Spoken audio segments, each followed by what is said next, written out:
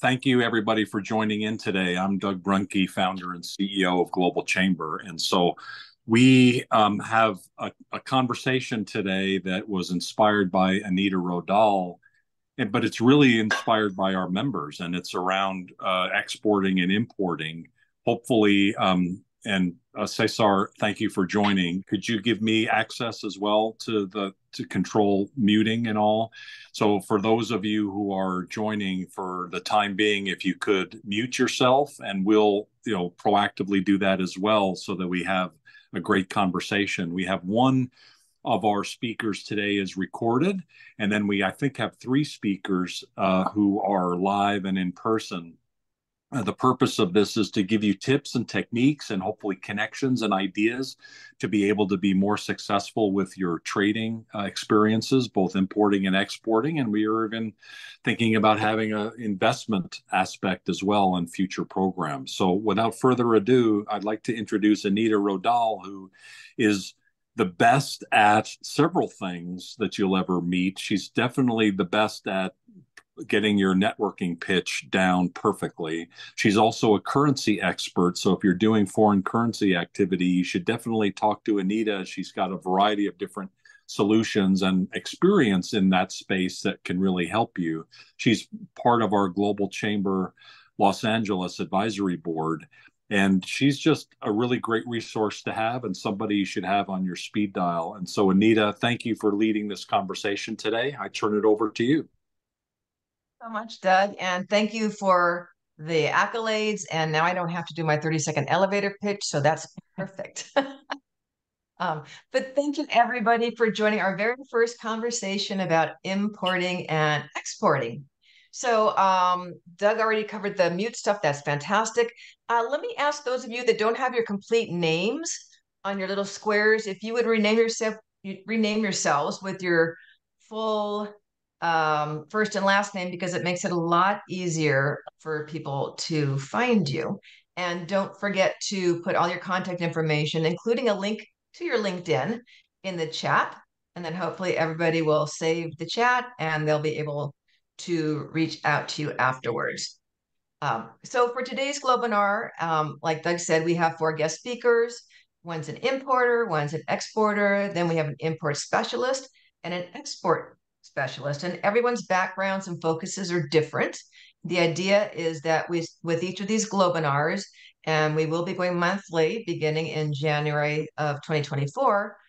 The idea is that we all learn a little bit more about different aspects of importing and exporting from a variety of perspectives and even from a variety of different countries. So, um, I will read a real abbreviated bio about each speaker before we jump into their individual um, interviews. So, first up is Lynn James Meyer. So, let me tell you about um, Lynn. Just it's mind blowing what she's done. And this is just the short version, right? Lynn James Meyer is the co founder and CEO of BioSafe Technologies Incorporated, which she established in 2000. BioSafe Technologies' mission is to develop safe and effective insecticide and medicinal alternatives worldwide. Since 2003, Lynn has been manufacturing and exporting a specialized non toxic head lice shampoo, in addition to other non toxic pesticide products for humans and animals. She has been heavily involved in the research as well as coordinating the groundbreaking formulations, for which she now owns an astounding 23 patents and trademarks. Lynn's numerous accolades include Global Exporter of the Year and multiple Stevie Awards in 2017, including the Lifetime Achievement, the Maverick of the Year, and the Entrepreneur of the Year. And the Stevie Awards, by the way, are the world's premier business awards. I looked it up. Okay, so let's get started. Lynn, you ready? I think so. okay, so first question for you you established BioSafe Technologies in 2000. When did you export your first product and what was it? It was in 2003 and it was a non-toxic head lice shampoo for children. Okay. Can you speak, like get a little bit closer to your yes. microphone possibly? Sure. Or speak Sorry. louder? Yes. That's okay. Okay, so you said you, so it was in 2003 and what was the product? Uh, a non-toxic head lice shampoo, which uh, was going into children's lines uh, under branded lines in Europe. My sister could have used that when my nieces were in elementary school.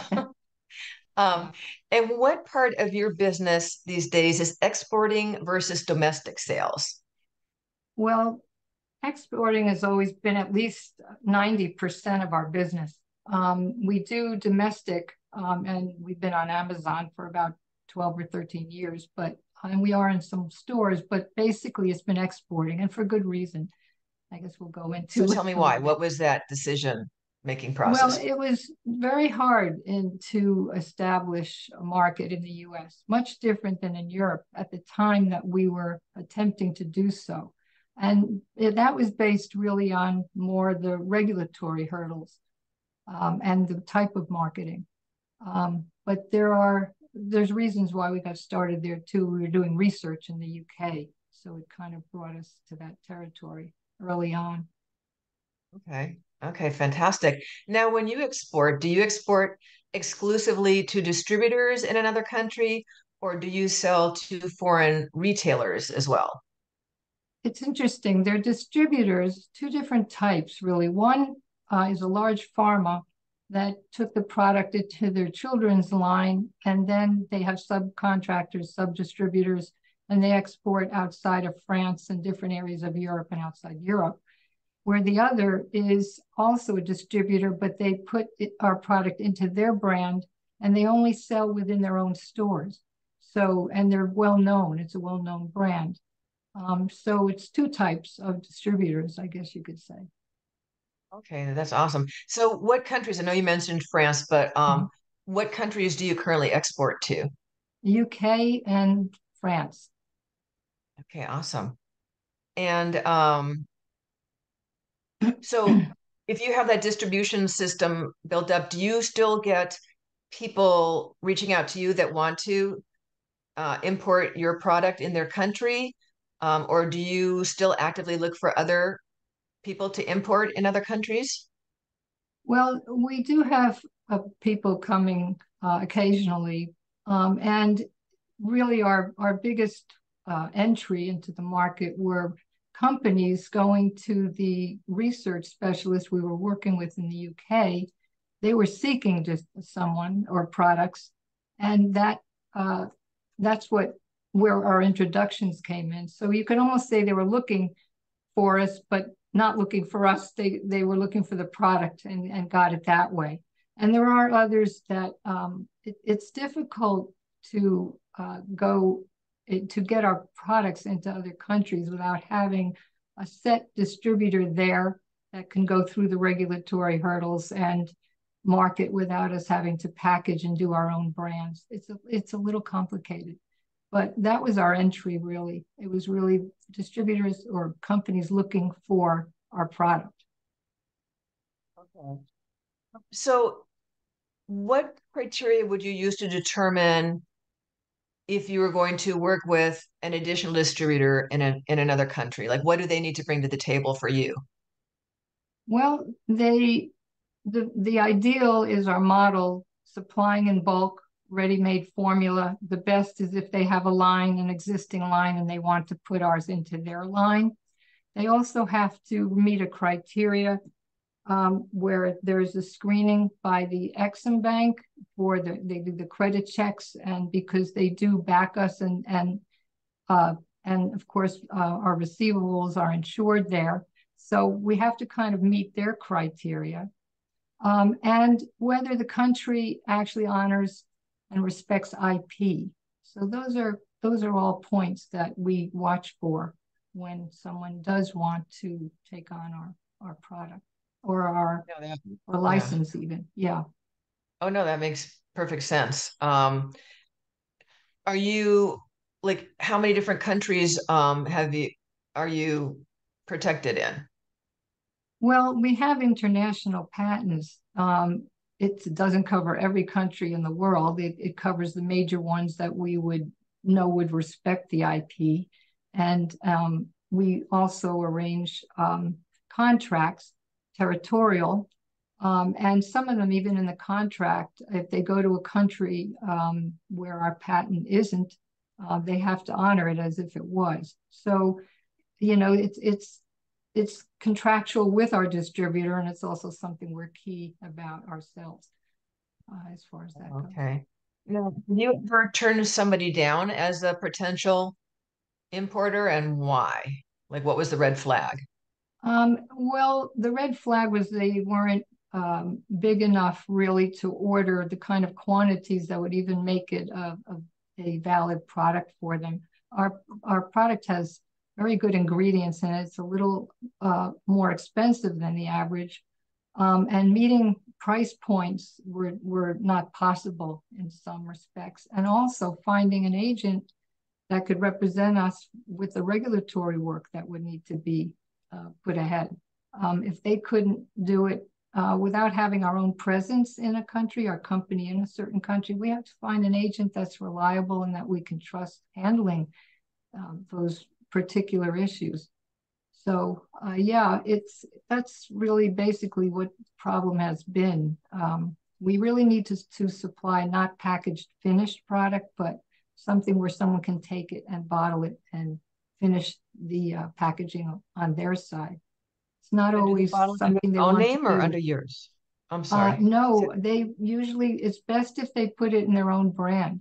If it's in our brand, there's a lot more responsibility we have after the fact. We'd rather kind of have a clean sale, make it, sell it, and let them take it and do all the marketing strategies and and uh, and protect their own brand. Um, so as long as uh, that's been a very good way of operation for us for a long time. Good. It sounds sounds amazing. Yeah. So so as an exporter, what gets you most excited about what you do? Like from the exporting perspective?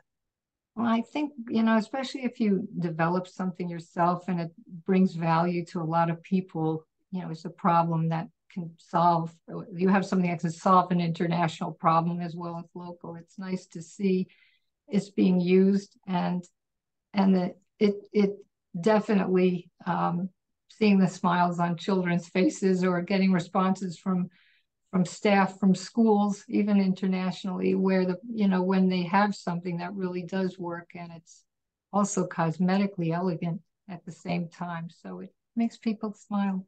it, it's nice to know when you do something that it has a benefit. Absolutely. And when I used to yeah. live in South America, I wish oh your products had been in existence back then. That's another story. Yeah. Um, let's see. what um I'm sorry? Oh, no, I'm waiting for the question. Okay.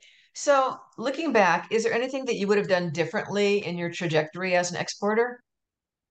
Yeah, I think that I would have um, not tried to do everything possible under the sun myself in the early days. Uh, I, the the time of the, the market was really, really ripe for our product um, was in the mid 90s.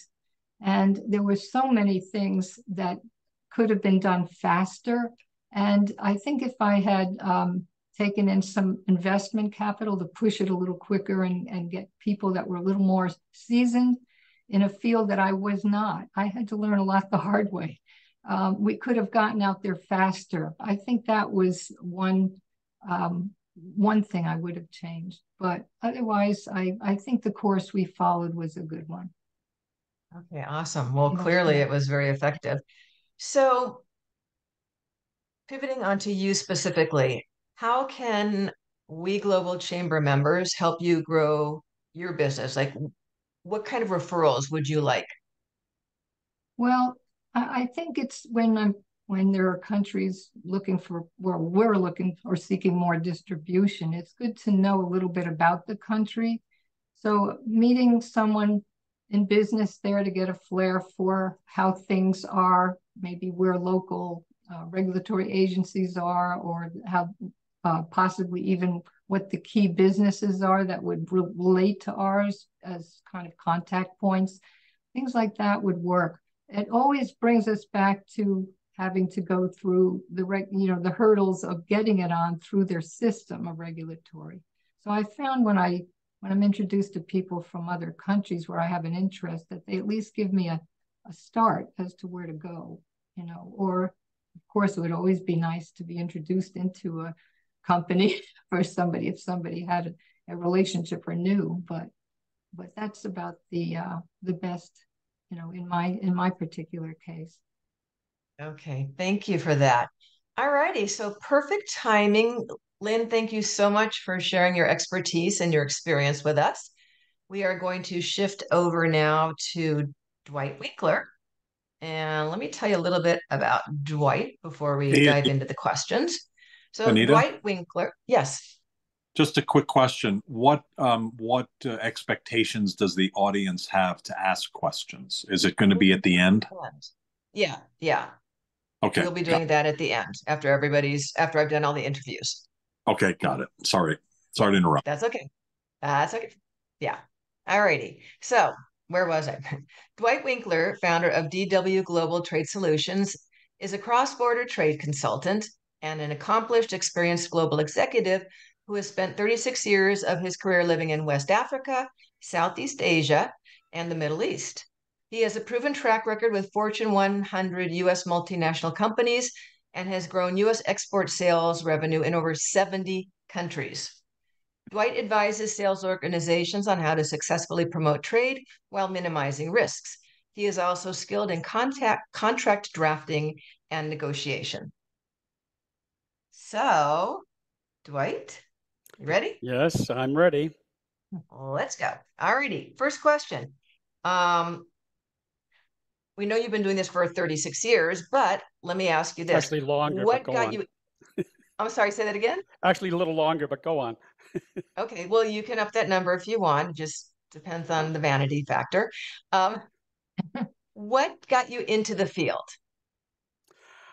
I when I finished my uh, master's degree at Thunderbird, um, I really, frankly, wasn't sure where I was going to head, and um, uh, through a course of some networking early on in the first few months, um, I was able to get connected with at that time uh, a group called the Foreign Credit Insurance Association, FCIA, which uh, is an insurance uh, uh, entity um, at that time was connected with U.S. Export Import Bank to cover commercial and political risk. So I started basically as a credit risk underwriter to insure export receivables. I was in the Chicago office uh, covering the uh, nine states of the upper Midwest. And so I was at, um, uh, focusing on a client base that uh, went from anywhere from hybrid seed products like you would get out of Iowa, Nebraska, to uh, heavy duty uh, agricultural machinery, construction equipment machinery, to um, uh, small aircraft. And we would underwrite the insurance on that, either directly with the exporter involved or with uh, banks that had policies, you know, master Yeah. policies. Uh, Uh-huh. and they would approach us because it was beyond their discretionary limit or um, uh, with banks, other, other brokers. Okay, fantastic. Thank you. All righty. So let's see. One of your specialties is helping U.S. manufacturers increase their export sales revenue utilizing a number of U.S. funded financing sources, such as the Exim Bank. Can you very briefly describe what that entails? Well, I, I guess it, it as as a uh, out uh, as a uh, outcome of the tenure that I had at uh, doing the insurance underwriting, I eventually became an international credit manager for Harris Corporation in their broadcast product division. That was a global responsibility, and then ultimately led to um, uh, my time with Motorola uh, Credit Corp, uh, where I was um, utilizing uh, any manner of sources of financing, whether it was Exim Bank, banks, insurance uh, uh, products, or even Japanese trading company products to help uh, fund export sales. Because if, if you're working for the companies like I did, the name of the game was let's not keep these uh, receivables, whether they're short term or medium term, on our books. Let's get it off so we can move on to the next sale and not impact our uh, balance sheet. Keep it off the balance sheet. Only do Okay. selective balance sheet financing. Okay. Now, are there private sector foreign financial institutions that will assist U.S. manufacturers in selling into those foreign countries? I think the uh, whether it's a foreign institution or a domestic U.S., I think it, it it's uh, uh, not uh, relevant. If if they have the appetite to do um, a financing and they know that they can uh, uh, take on that business and that they're more than willing to go to work and do it. I mean, my experience is that I've been able to work with banks in, in Asia, all, all the continents in that who, who might have an appetite to support a, a sale if it meets their uh, criteria and uh, credit risk uh, appetite. So that's why the job is very much if you're trying to finance export sales and not do it directly yourself, the name of the game is getting out and getting into the market and that and reaching out to any manner of institution to tap into their readiness to support and then you bring them uh, in so it's it's kind of colorblind to um, uh, or country you know blind to um, uh, where you want to um, source the money as long as you can um, uh, get it done and, and let's just say mitigate the risk and keep it off your balance sheet Okay, that's that's a beautiful thing. Now, I know that you help exporters with contract drafting and negotiation. What when do things like that typically come into play in the process? Well, part of it's driven by what it is you're selling in that and what is the actual value of. If you're just selling a, uh, and, and what your credit policy is within your company. I mean, you, what's your threshold of where you're going to want a contract or where a purchase order will suffice? I mean, I can tell you one of the uh, companies that I was with in the Middle East, anything over $60,000 equivalent required a contract. Anything less than that was a simple purchase order. So uh, it, it, really depends on what's the uh, and what's the complexity of the deal. Do you have post delivery requirements like uh, uh, installation or after sales servicing or what your warranty conditions are? In that those can't all be covered in a purchase order, but can only be dealt with in uh, a contract. So it's really has it's it's it's it's transaction driven, and it goes back to what have you as a company, whether you're a one person company or a medium size or, or large, what is your policy relative to your commercial terms and conditions, your credit uh, approach, and that you have to have that in place so that you can then use that to guide you on how you transact uh, uh, your product wherever it happens to be going with whom and with whomever it is that you're you're dealing with. Okay. Okay. Interesting.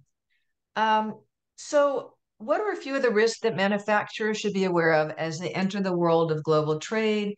And at what point would you recommend they reach out to an expert such as yourself for help in minimizing the risks? Well, goes back partially to what I just said, in that they have to really establish in their own shop what is their um, credit policy, what are the commercial terms under which they want to carry out business, and then they need to look at well, how am I going to work overseas? Am I going to go direct, meaning I'm going to have my own uh, uh, resources and that we are, are, are, selling directly abroad, or am I going to be going through uh, channel uh, indirect, uh, you know, through channels? In that for distribution and, and then it becomes what's the due diligence I've done on that entity that I'm working with, whether it's in Europe or in Africa or South America, and that if you're working with a distributor, I mean that's your gateway to whatever that market is. And it's you need to make that choice and that decision uh, fairly early, early on.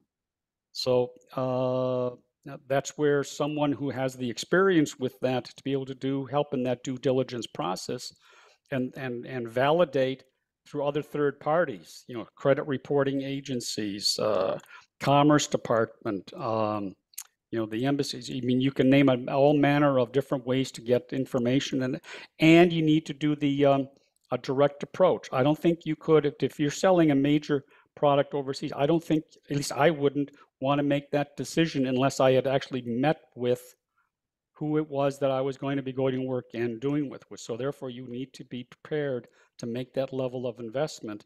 It's not an armchair decision. Okay. Okay, that makes a lot of sense. Now, pivoting back to you, how can Global Chamber members help you grow your business? Who would you like to meet in terms of referrals? Well, I'm I'm kind of uh, irrespective of the company size. Uh, if they do not have in-house expertise to um, uh, deal with navigating these uh, these issues and working with sales organizations if they have one to help make sure that they make the right decisions and that, and to help structure their deals correctly, and that I can come in and do that uh, with them. Or a small and medium-sized enterprise that's thinking about or maybe considering or has done exporting, but somewhat opportunistically or incrementally, but wants to do more than that to help them shape how they approach that business, to bring some of the things that I just said relative to setting up your own uh, credit and commercial policy. I don't care if you're a one-person shop or a large company, you have to have that. Otherwise, you, what are you doing? Uh, you, you, need you, that's that's the groundwork, and once that's set in place, then you know to help them make those decisions and find you know where there are ways to go to work and help mitigate the risk. There's not one size fits all to this. That's kind of what makes the business kind of, for me kind of exciting because it's not a cookie cutter off the shelf approach Right. necessarily. Right. Um, Got it. and that so I'm looking Okay. for companies that you know need to bring in that expertise, but they've got to be willing to make the investment. You know, I'm I'm not. Um, I'll just be blunt. i'm in I'm not available for free. Got it, got it, got it. Of course. Okay, so perfect. Thank you so much for joining the conversation Thank you and so sharing much your indeed. knowledge and expertise with us. Appreciate it. And we're going to move over to Shalom right now. Are you Hi, ready, how are you? Shalom? I am ready. Okay, good. All right, so let me tell you all a little bit about Shalom first. Shalom Bako, also known as the Hibiscus King, is a leading expert on international trade and doing business in Africa. He is the global managing director of Afrivana. His experience and influence spans from the African Sahel region to the United States. He is both a farmer and exporter in Africa, as well as a successful entrepreneur and importer in the United States. Shalom was born and raised in northern Nigeria, but moved to the United States as a teenager. And for those of you who are soccer fans, he used to play professionally with the Los Angeles Galaxy. Yeah. okay. Questions then. Shalom, when did you first begin importing into the United States? Thank you. Um, I would say, you know, I started importing right around 2015, uh, technically. Yeah. Okay, cool. And what was the first product that you imported? Uh, it was actually a pallet of ginger powder, ginger oil, shea butter, and hibiscus. Oh, wow. Okay, nice. And so you you were exporting from Africa before you were importing into the United States, correct? Yeah, the United States was really the first place I imported to and exported to. Yeah. Okay, so what prompted you to start importing? I, I would say a couple of things. Um, I tried exporting from the US into Africa. Uh, that was really my first venture, and that was in 2010. And I just saw an opportunity to become a distributor of African products. I didn't really find a lot of uh, reliable or major distributors for uh, African products, and that was the reason why. Okay, fantastic. So at this point in time, how many products do you import now? Oh, um, I would say roughly about we are at about um, nine products at the moment. Okay. Oops, you're, you got muted. Shalom, can you unmute yourself? Yes. There you go. So Okay, yeah. about about nine products at the moment. Okay, fantastic. Um, now, how do you determine what products you want to import?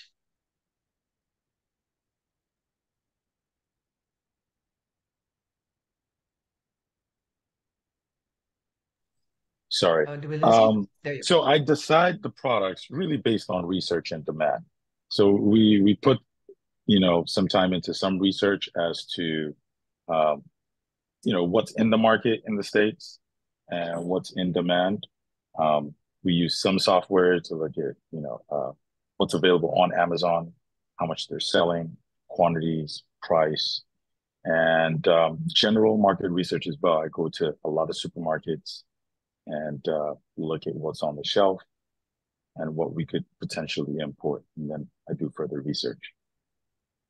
Okay, and uh, so research is key. How do you find your customers here in the U.S.? Is it trade shows, social media, direct marketing, like? All the above. Um, it's been kind of all over the place. People find people find me on social media. Some people reach out.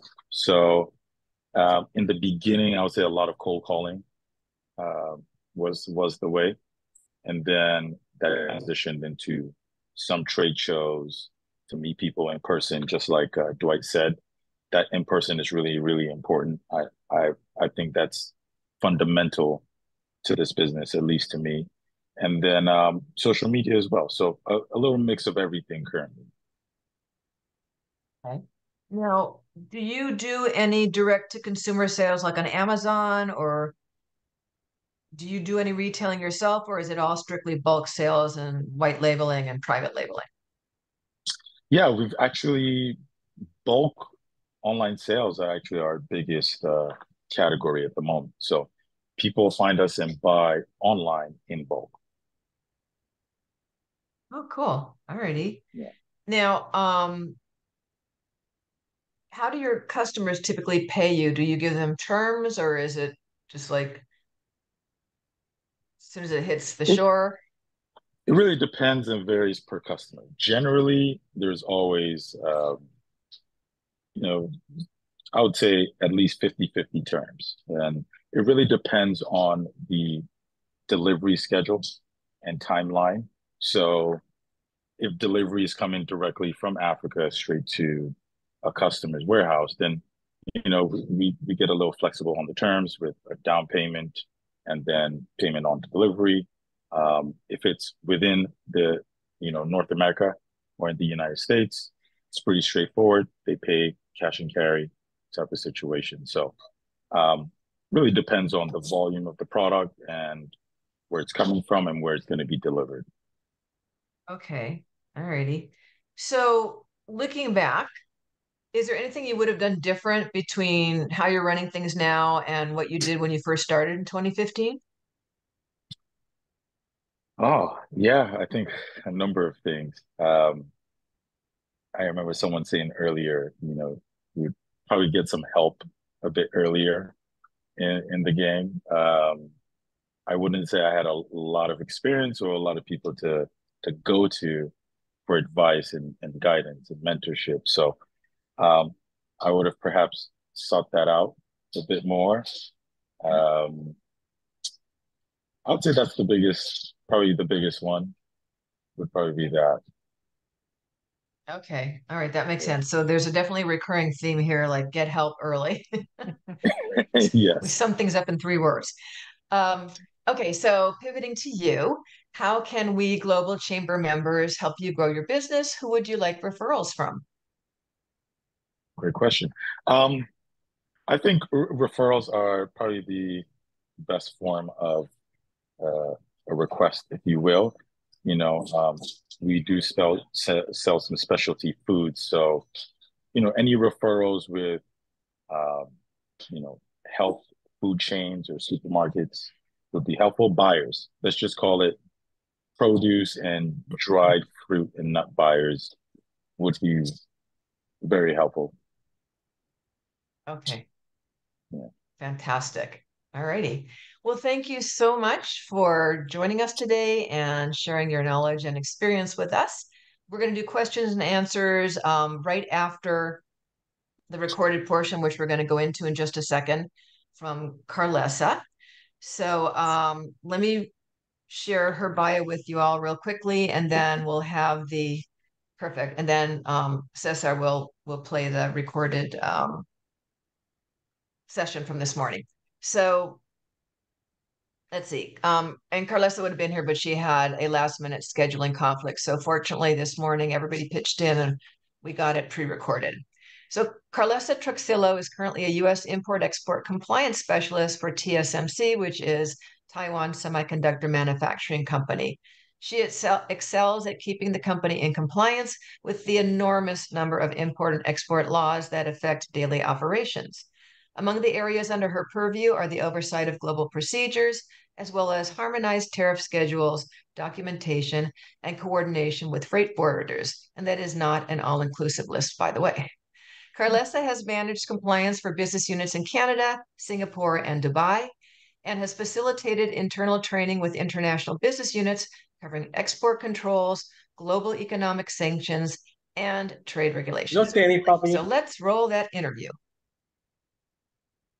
Ready for you, Cesar.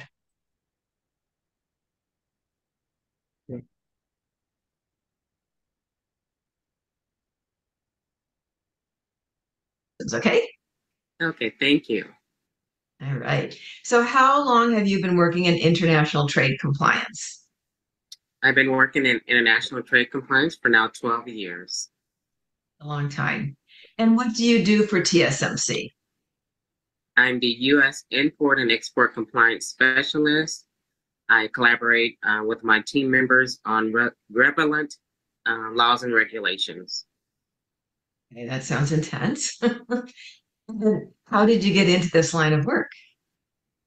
Actually, it was some years ago. I had a former boss who needed some assistance on the 7501 entry summaries, and I began um, doing some auditing.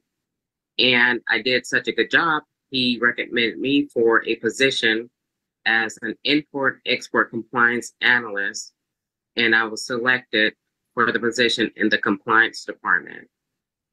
Wow, good for you. So, what types of products do you work with? Well, we work with uh, lithography equipment, um, parts and components for the semiconductor industries. And we do a lot of um, shipping when it comes to even imports and exports. Okay, great. And what country do you import from and why those particular countries? Well, we import from Singapore, China, Germany, uh, Japan, and we import these certain products because it, they're part of the semiconductor industry. So we have a lot of, um, let's say, parts and components um, to bring in uh, for construction so we can get the fab built. And then we also um, import a lot of equipment from the suppliers from Singapore. So it's been it's been a great a great experience. Fantastic. All right, let's see. Next question. Do the products come in by sea or by air or both? You know, actually, um, they all come by from air and sea. So right now we're dealing with a lot of air shipments. Um, and in in regards to the air shipments, we have to kind of get in front of everything as far as making sure we have the correct documentation. We have to make sure that we have the commercial invoice, packing list, um, perhaps what mill certs or uh, certain uh, declarations.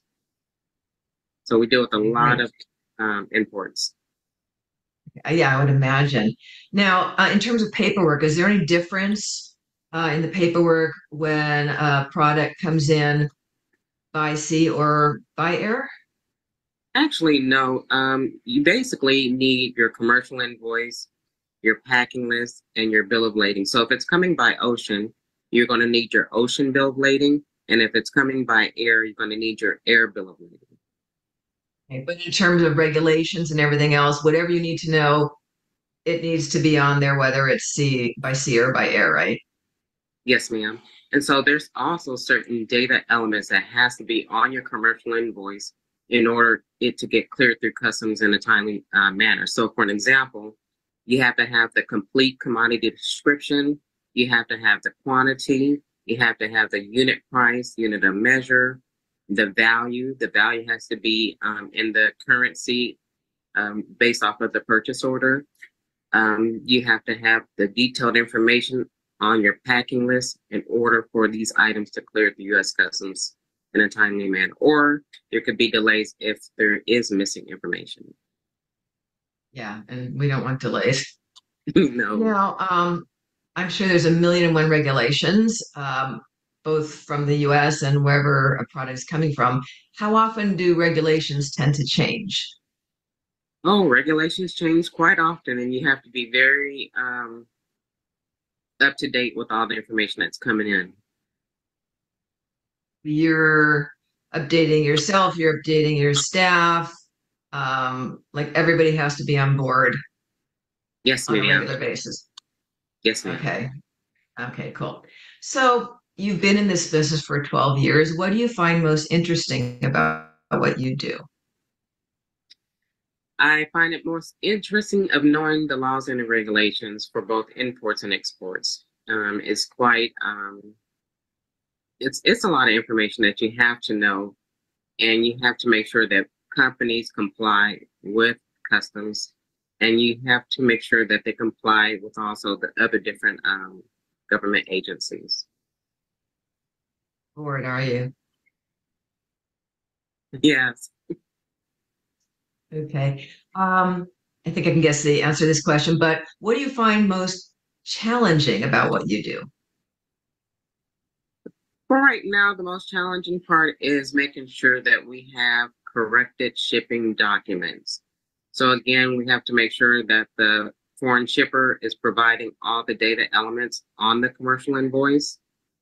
Um, sometimes they may miss, for an example, the unit price, or they may not have the country of origin listed on their documentation, or they might not have the um, HTS even on the commercial invoice. So we have to go back to the suppliers and ask them to update the information in order for their product to get cleared through the customs. A lot of work. Uh, from a trade compliance perspective, what advice do you have for people who either want to get into importing or may already be importing, but they're fairly new to it all?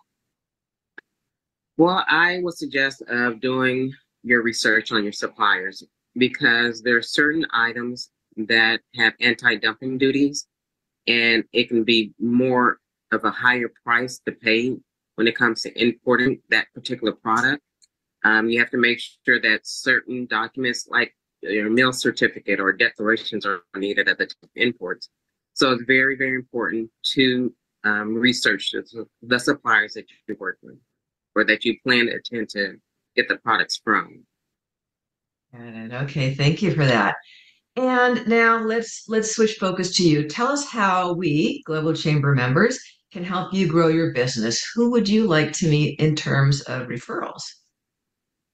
I would like to meet someone in the commercial uh, services uh, program to where I can get the referrals from. Just in the US, or does that include people working around the world for the uh, commercial services? And for people working around the world, yes, ma'am. That's a lot of people we can refer to you.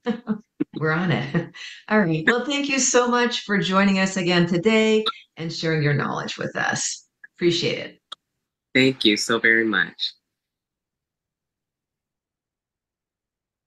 Okay. So that was Carlessa. So you're all, you can unmute yourselves now. We're going to open it up to questions.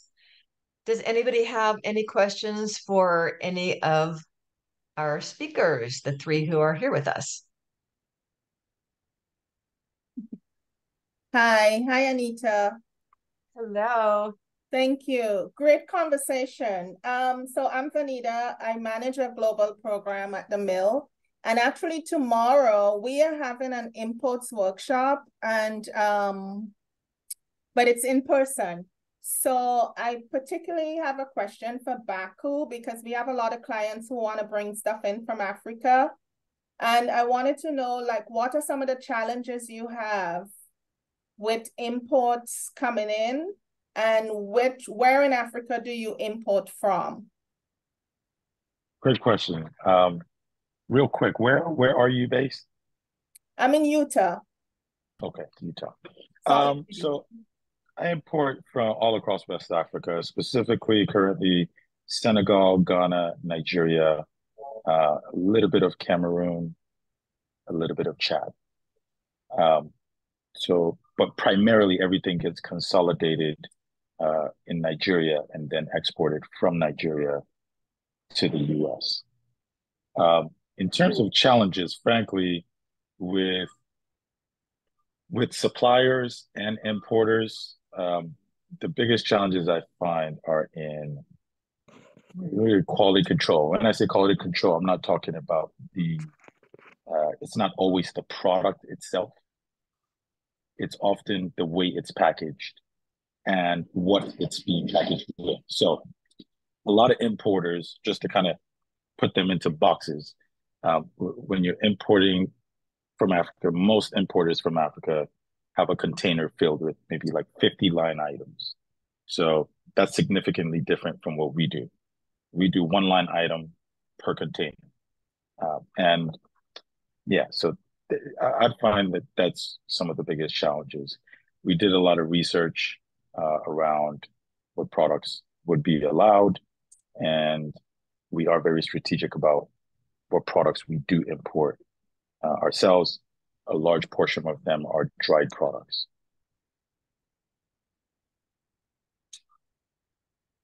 I think you're on mute. Thank you, thank you. And um, do you basically your products that you import? Is it basically you just do online, or do you have a brick and mortar store um, set up? No, our primary channels are wholesale, white label, and private label. So the core of our business is in wholesale distribution. Um, in terms of bulk, we do sell online in bulk, but um, majority of our business is offline. So we work with manufacturers, distributors. Those are primarily who we sell to. But with uh, white label and private label, we offer that because that's uh, sort of a new expansion in our business in manufacturing. So we have the manufacturing facilities in Africa, and we're able to create products for any customers here in the States or elsewhere around the world. Okay.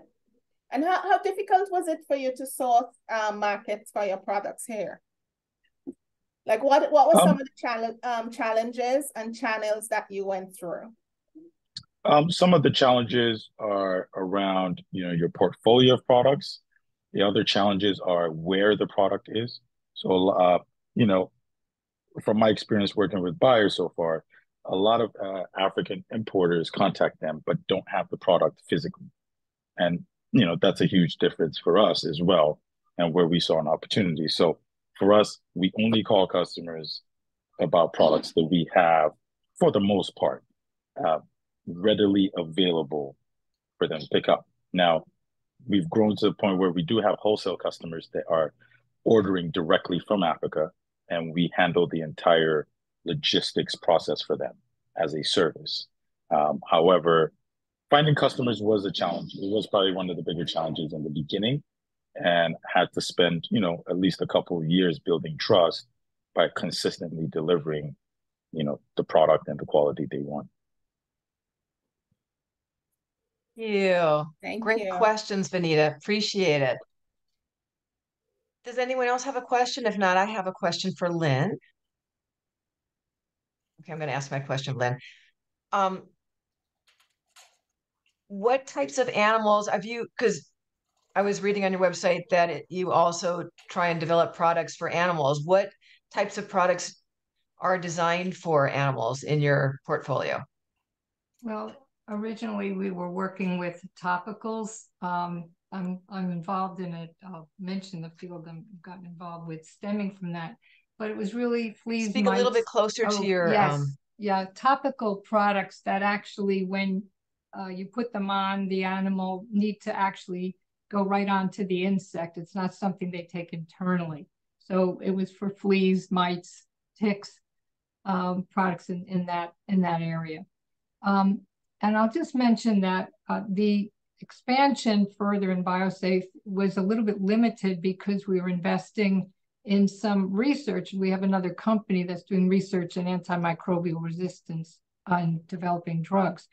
So um, yeah, I, am I'm, I'm mentioning that because uh, a lot more would have been exported or put on the market from our um, from our array of products we brought back, but it required a lot of, as I mentioned, registrations and and putting a lot of marketing uh, pressure behind it. And we didn't do that as much because we were investing so much in in our other company. So, but that's what the the products were uh, all non-toxic, and um, you know, that's basically what they were. Now we're working more with the internal. So, but those originally, and we found those really. Uh, it, developing products in Brazil, we found a lot of these uses really by accident. We weren't even targeting them. It's just that we we came across them in in really unusual ways and um, found that, that, there was a, a lot of uses for some active ingredients that we had. So it's been an interesting journey, but hard to discuss, hard to describe here. But yeah, no, I would I would bet. But for the ones that are too problematic to go through the process here in the US, are you developing any of those like based in other countries? Like do you have a branch where you can do no. that in another country? No, we started it in Brazil at one time, but as I mentioned, where where we've been um, going into another country and doing the research on in a field that extended from our original, where there's new patents and and other things that will be launched or announced pretty soon. So no, we we don't. You know, we we um we work we had them on the market, you know, for horses, for um special products for grooming show horses or show animals, great pet products, but never never really expanded as much as we could have because to make the claims we wanted to make also each one had to go through this EPA process. So that's where we were. We were always stuck in that one, one spot. Uh, so we we would market it more as a cosmetic type product. Yeah. Uh, interesting. Yeah. Very cool. It's well, thank it, you. Yeah, just been a lot of variety of things. Yeah, sounds like it. Yeah, too many probably. yeah. I know. I guess at some point in time you have to whittle things down and focus, and and clearly you have. So that's that's a that's a good thing. Um, anybody else have any questions? No. Okay. So I guess we will wrap up because we're just two minutes before the hour. Doug, any final comments?